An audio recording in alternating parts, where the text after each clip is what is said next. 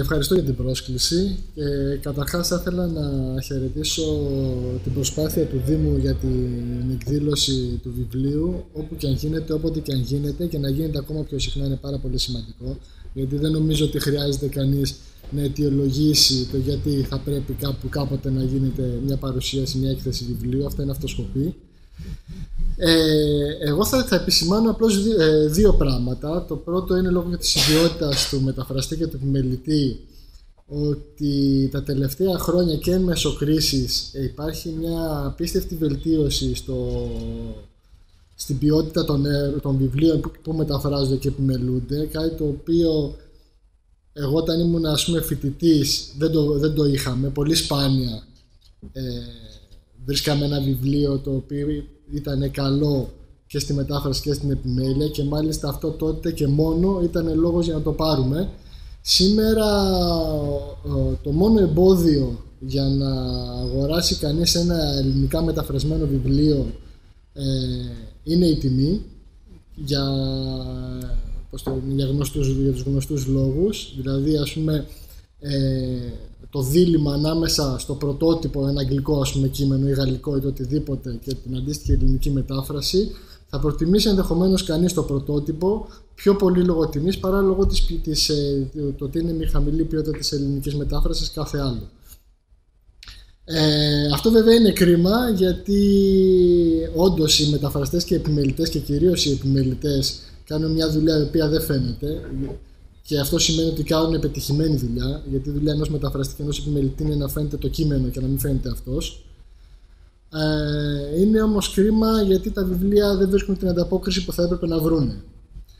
Ε, έρχομαι τώρα στο δεύτερο σημείο, το οποίο δεν είχα καθόλου σκοπό να το θίξω. Βασικά δεν το, δεν το είχα σκεφτεί καν, αλλά έπεσε στα χέρια μου σήμερα το πρωί μια μελέτη σχετικά, η οποία είναι πρόσφατη, κυκλοφόρησε τώρα στις 20 του Μάη, σχετικά με τις δεξιότητες και την αγορά εργασίας ε, σε παγκόσμιο επίπεδο. Αυτό το οποίο έχει ιδιαίτερο ενδιαφέρον είναι ότι πλέον επειδή στον χώρο της εργασίας η απλή κατοχή γνώσεων δεν αρκεί και αυτό το οποίο θα πρέπει να, να κατέχει κανείς είναι τις κατάλληλες δεξιότητες, ορισμένες από αυτές τις δεξιότητες είναι η κριτική ανάλυση, η κριτική σκέψη. Τίποτε, α, κανένα από αυτά τα δύο δεν μπορεί να αναπτυχθεί επαρκώς αν κανείς διαβάζει δεν είναι, δεν είναι μηχανισμοί τους οποίους μπορεί κανείς να μάθει στο σχολείο. Να σου πει άλλο σκέψου με αυτόν τον τρόπο όταν αντιμετωπίσεις αυτό το πρόβλημα, σκέψου έτσι, σκέψου αλλιώς. Ε, τότε περνάμε σε μια μορφή ε, εργασίας η οποία χαρακτηρίζεται ως ρουτίνα και η οποία λόγω του αυτοματισμού τίνει να εκλείψει. Και γι' αυτό και όλα οι σύγχρονες έρευνες λένε ότι αυτοί οι νέοι θα πρέπει να στρέφονται στην ανάπτυξη των δεξιοτήτων που έχουν να κάνουν με το μυαλό. Ε, αυτό που μας οδηγεί, μας οδηγεί απευθείας η πρώτη σκέψη είναι στην ανάγνωση, είναι στη μελέτη, είναι στο διάβασμα. Δεν το... Βρίσκουμε πληροφορία στο διαδίκτυο, βρίσκουμε πολλές πληροφορίες στο διαδίκτυο, μπορούμε να βρούμε τα πάντα στο διαδίκτυο, ακόμα και αυτά που δεν υπάρχουν, τα βρίσκουμε στο διαδίκτυο. Αλλά τίποτα από όλα αυτά δεν μας ε, αναγκάζει να σκεφτούμε. Γιατί δεν μας αναγκάζει να σκεφτούμε και μας αναγκάζει το βιβλίο, Γιατί το βιβλίο έχει δομημένο τρόπο σκέψης, έχει επιχειρηματολογία. Στο ίντερνετ βρίσκουμε πληροφορίες. Σπάνια θα βρούμε επιχειρηματολογία και αν βρούμε επιχειρηματολογία, επειδή ακριβώς ε, έχουμε συνηθίσει στο ίντερνετ να διαβάζουμε αραδούλες αραδούλες, δεν έχουμε την υπομονή να ασχοληθούμε με την επιχειρηματολογία.